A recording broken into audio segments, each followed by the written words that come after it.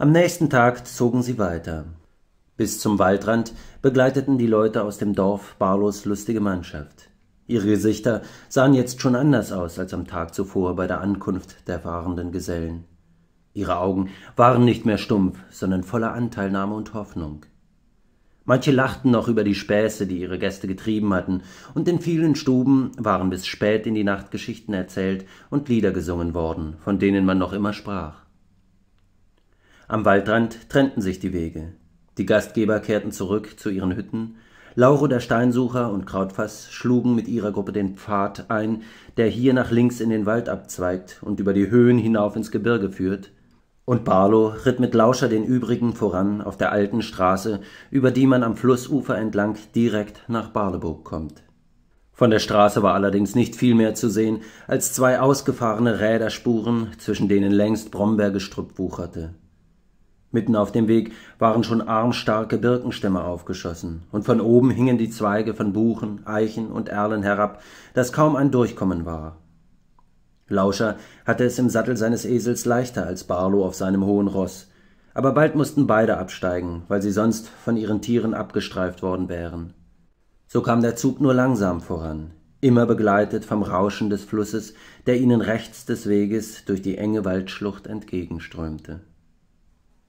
Gegen Abend erreichten sie einen kleinen Talkessel, der am oberen Ende durch eine haushohe Felsbarriere abgeschlossen wird.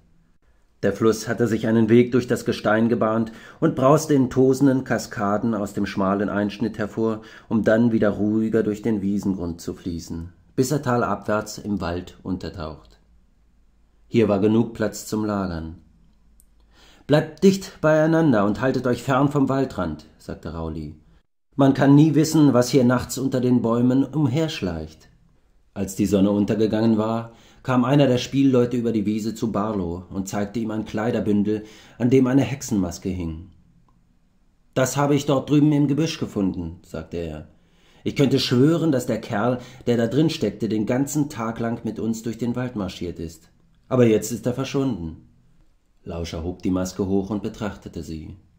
Diese spitzen Hauer zwischen den verzerrten Lippen hatte er schon einmal gesehen, und damals hatten hinter den Blicklöchern gelbe Augen gefunkelt. Ich kenne die Maske, sagte er, und ich fürchte, dass ich auch weiß, wer sie getragen hat. Es könnte sein, dass er jetzt auf vier Beinen durch den Wald läuft und das Rudel zusammenruft. Wir sollten uns heute Nacht vorsehen. Jetzt brauchte man keinen mehr zu ermahnen, sich nicht vom Lager zu entfernen. In der Mitte der Wiese wurde ein Feuer entfacht, um das sie sich im Kreis schlafen legten, und wer eine Waffe besaß, sorgte dafür, dass sie griffbereit zur Hand war. Rauli, der immer gern Pläne entwarf und für Ordnung sorgte, hatte sich auch darum gekümmert, dass Wachen eingeteilt wurden. Die Stunde nach Mitternacht hatte Lauscher übernommen. Als er geweckt wurde, war der Himmel von einem dünnen Wolkenschleier überzogen, auf dem sich ein fahler, von einem weiten, schimmernden Hof umgebener Mond abzeichnete. Lauscher kroch aus seiner Decke und ging langsam hinüber zu der Stelle, an der Jalf bei den Pferden lag. Über dem dunklen Gras schwammen im Mondlicht die blassen Dolden des Wiesenschaumkrauts. Das Rauschen des Flusses stand wie eine Mauer in der kühlen, feuchten Luft und übertönte jeden anderen Laut. Wenn hier einer spüren konnte, dass sich eine Gefahr näherte, dann war es der Esel mit seiner empfindlichen Nase, der Wölfe schon immer als erster gewittert hatte. Lauscher setzte sich zu ihm, lehnte sich an seinen weichen Bauch und kraulte ihn in seinem kurzhaarigen Fell. Als er eine Zeit lang so gesessen und auf die schwarze Wand der Bäume gestarrt hatte, spürte er, wie Jalf unter seiner Hand unruhig wurde. Ein Zittern lief über sein Fell, er schnaubte leise, und dann hob er den Kopf und äugte hinüber zum Wald. Lauscher konnte nichts erkennen, aber er wusste aus Erfahrung, dass es jetzt an der Zeit war, die anderen zu wecken. Er war kaum aufgestanden, als Jalf ihm schon diese Arbeit abnahm. Er sprang auf die Beine und stieß einen rauen, durchdringenden Eselsschrei aus, der sogar das Rauschen der Wasserfälle übertönte. Die Wölfe kommen! schrie Lauscher, und gleich darauf waren alle schon auf den Beinen. Auch die Pferde standen jetzt auf und drängten sich stampfend aneinander. Und dann stürzte das Rudel mit Geheul aus dem Wald. Schwarze Rücken glitten durch das Gras, gelbe Augen flogen wie Irrlichter über den Boden. Diesmal hatte Barlow sein Tritonshorn gleich zur Hand. Denn Lauscher hörte, wie der tiefe, nachhallende Ton sich über dem Rauschen des Flusses erhob und die Luft erbeben ließ. Die Wölfe standen wie erstarrt und ehe sie wieder angreifen konnten, schien das Brausen und Klatschen in der Flussenge mit einem Mal anzuschwellen und ging dann über in ein sich überschlagendes Gelächter, wie von tausend silbrig hellen Mädchenstimmen. Dieses Lachen sprühte empor zum Himmel und fiel wieder herab, wie der Feuerregen von Sternschnuppen. Es füllte das Tal aus von einem Ende bis zum anderen, als gäbe es nichts mehr auf der Welt als dieses Lachen und über der Flussenge blitzte es auf wie von nackten Leibern, die über die Kaskaden sprangen, hinauf und hinabgetragen wurden, untrennbar verbunden mit dem schäumenden Wasser, das aus dem Felsspalt hervorschoss. Dieses Lachen war es, was die Wölfe vertrieb. Angstvoll zogen sie die Schwänze ein und drückten sich ins tiefe Gras, bis einer nach dem anderen aufsprang und zurück in den Wald huschte. Das Lachen musste es gewesen sein, das ihnen Mut und Angriffslust genommen hatte. Lauscher war da ganz sicher, denn diesmal war kein Wasser aus dem Boden gesprudelt, diesmal hatte es keine Überschwemmung gegeben. Das Gelächter allein hatte genügt. Noch immer brach es sich in vielfachem Echo an den Hängen und stieg hinauf bis zum Kamm der waldigen Bergzüge. Und dieses Lachen war so unwiderstehlich, dass alle, die eben noch erschrocken und abwehrbereit um das verglimmende Feuer gestanden hatten, in dieses Gelächter einstimmten, so dass sich jetzt helle und dunkle Stimmen mischten. Eine unbändige Heiterkeit erfasste alle. Die Spielleute holten ihre Instrumente hervor und fingen an, einen wilden Tanz zu spielen. Allen voran Barlow, dessen Flöte hell das Brummen der Dudelsäcke und das Schwirren der Fiedelsaiten übertönte. Das fahrende Volk sammelte sich um den Tobel, in den sich der Fluss aus der Kluft heraus im Schwall ergoss, und wer kein Instrument hatte, tanzte in verwegenen Sprüngen über den Uferkreis mit den Wassermädchen um die Wette, die sich, schimmernden Fischen gleich, aus den Strudeln schnellten und noch immer lachend die Männer foppten, die nach ihnen zu greifen versuchten, bis der Grüne oben über dem herabstürzenden Wasser auftauchte und sein Schneckenhorn an den Mund setzte. Tief und bebend schwoll der Ton an, bis nichts mehr zu hören war als dieses orgelnde Dröhnen, in dem der tobende Reigen sein Ende fand. Als der Ton verklungen war, lag der Wassersturz wieder verlassen im Mondlicht. Danke für die Hilfe, Grüner, rief Lauscher, und von oben klang, wie auf den Saiten einer Bassgeige gespielt, die Stimme des Wassermannes. Dank für den Tanz und vergesst nicht zu lachen. Dann stand nur noch das stetige Rauschen des Flusses in der Nacht. Die Männer kehrten zurück zu ihrem Feuer und legten trockenes Holz in die Glut, bis sie von neuem aufloderte. Dann hob Barlow die Hexenmaske mit dem zottigen Gewand vom Boden und warf sie in die Flammen. Noch einmal glühte es gelb und rot aus den leeren Augenhöhlen, und die grinsende Fratze verzog sich, als sei dieses scheußliche Gesicht lebendig geworden, bis es schließlich knallend unter einem Funkenregen auseinanderbarst und von den Flammen aufgefressen wurde. Inzwischen hatten sich alle wieder um das Feuer gelagert und sprachen halblaut über das, was sie gerade erlebt hatten. Es ist wirklich wie in deinem Märchen, Gurlo, sagte Rauli. Auch die Wölfe können es nicht ertragen, wenn man lacht. Das sollten wir uns merken.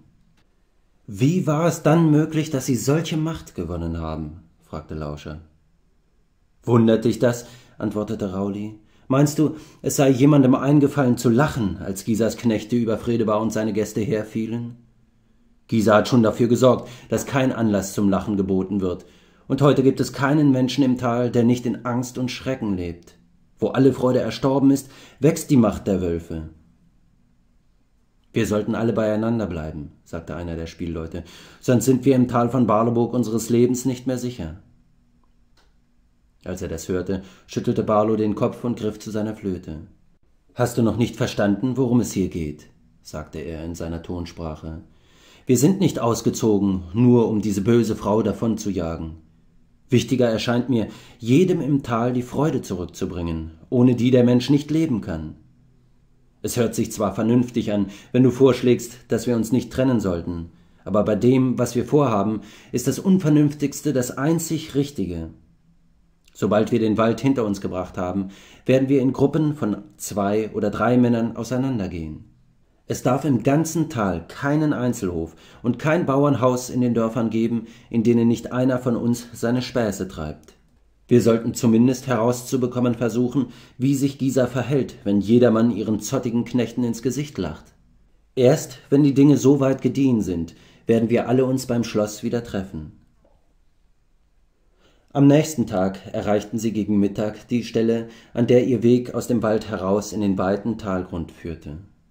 Zu beiden Seiten des Flusses wichen die Bäume zurück bis zur halben Höhe der Hänge und umsäumten das Tal bis hinauf zum Gebirge, das sich im Hintergrund auftürmte.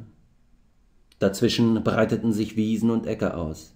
Die roten Dächer von einzelnen Höfen und kleiner Dörfer leuchteten aus den weißen Blütenwolken der Apfelgärten, und weit hinten über dem Fluss, der sich in sanften Windungen durch das Tal schlängelte, stachen zierlich wie Kinderspielzeug die Türme des Schlosses von Barleburg in die blau-grüne Wand der Wälder. Lauscher betrachtete dieses friedliche Bild, das nichts verriet von dem bösen Zauber, der diese Landschaft wie ein unsichtbares Spinnennetz überzog. An die Arbeit, Freunde, rief Rauli und spielte wieder einmal den großen Pläneschmied. Jeder Gruppe wies er das Gehöft an, in dem sie ihre Künste zeigen sollte, und er sorgte dafür, dass ein Geschichtenerzähler immer auch einen Spielmann oder Spaßmacher zur Seite hatte, der die Leute aufheitern konnte, wenn die Geschichte zu lang werden sollte. Barlow legte Lauscher die Hand auf die Schulter und wies auf einen Einzelhof, der am linken Talhang etwa in halber Entfernung zum Schloss lag. Dann trieb er sein Pferd an und ritt los. Jetzt wo sie im Tal von Barleburg angekommen waren, schien es Barlow nicht mehr eilig zu haben. Er ließ sein Pferd im Schritt über den grasigen Weg trotten, holte seine Flöte aus der Tasche und fing wieder an zu spielen. Eine freischweifende, fröhliche Melodie, in der sich die Konturen dieser friedlichen Landschaft abzeichneten, und als Kehrreim tauchte immer wieder die Schlusszeile seines Narrenliedes auf. Denn Barlow reitet jetzt durch das Land. Von überall her, wo die Spielleute im Tal auf dem Wege waren, hörte man bald Dudelsäcke und Fiedeln, Schalmeien und Flöten antworten. Von Hang zu Hang hallte es wieder. Ein Strom von Musik ergoss sich in das weite, grüne Becken, um es bis zum Rand zu füllen, und von der Waldschlucht bis hinauf zum Gebirge konnte man hören, dass Barlow geritten kam. Lauscher ritt auf seinem Esel neben seinem Herrn und dachte an die Zeit, in der er hier an der Seite Gisas über die Felder galoppiert war. Damals hatten die Bauern stumm ihre Arbeit getan, und er konnte sich nicht entsinnen, dass einer von ihnen je gesungen hätte oder dass abends in den Dörfern gar getanzt worden wäre. Verbissen waren die Pflüger ihren Zugtieren nachgestampft und hatten kaum gewagt, eine Rast einzulegen, wenn die Herren in der Nähe vorüberritt. Nicht so wie der Bauer, der weiter vorn an ihrem Weg eben seinen Flug hatte wenden wollen, als von allen Seiten her diese Musik hereinbrach. Jetzt stand er, den Arm um den Hals seines Pferdes gelegt, am Feldrain und blickte den beiden Reitern entgegen. Barlow hielt sein Pferd bei ihm an und nickte ihm zu. Auch Lauscher wollte freundlich sein und sagte, ein schöner Tag ist das heute. Ja, brummte der Bauer abweisend, ein schöner Tag. Dann wendete er sich wieder dem Flöter zu und sagte, Du bist der junge Barlow, ich kenne dich aus der Zeit, als dein Vater noch lebte. Aber war es nicht der hier auf dem Esel, der dir und er machte die Gebärde des Zungeabschneidens. Da legte Barlow seine Hand auf Lauschers Schulter und vollführte mit der anderen eine wegwerfende Geste, die so viel hieß wie Lass doch diese alten Geschichten. Ich dachte nur, sagte der Bauer. Später ist er ja darauf gekommen, woran er mit Gisa war. Reitet er schon lange mit dir? Barlow nickte. Was habt ihr vor? fragte der Bauer. Euch wieder das Lachen beizubringen, sagte Lauscher. Meint ihr, mit dem bisschen Musik könnt ihr Gisa samt ihren Knechten vertreiben? fragte der Bauer. Wenn ihr euch da nur nicht täuscht. Versuchen kann man's ja, sagte Lauscher, und im gleichen Augenblick schien der Bauer etwas hinter ihm zu erblicken, erschrak und versuchte sofort sein Zugpferd wieder auf den Acker zu treiben. Lauscher blickte sich um, und auch Barlow schaute auf den Weg zurück, den sie gekommen waren. Da sahen sie einen der zottigen Knechte auf einem Pferd herangaloppieren. Barlow packte den Bauern am Arm und lächelte ihm beruhigend zu. Da war der Gelbäugige auch schon heran und zügelte sein Pferd. Warum arbeitest du nicht? schrie er den Bauern an. Weil er sich gerade mit uns unterhält, sagte Lauscher freundlich. Der zottige Knecht blickte ihn verwirrt an, denn eine solche Antwort war er offenbar nicht gewöhnt.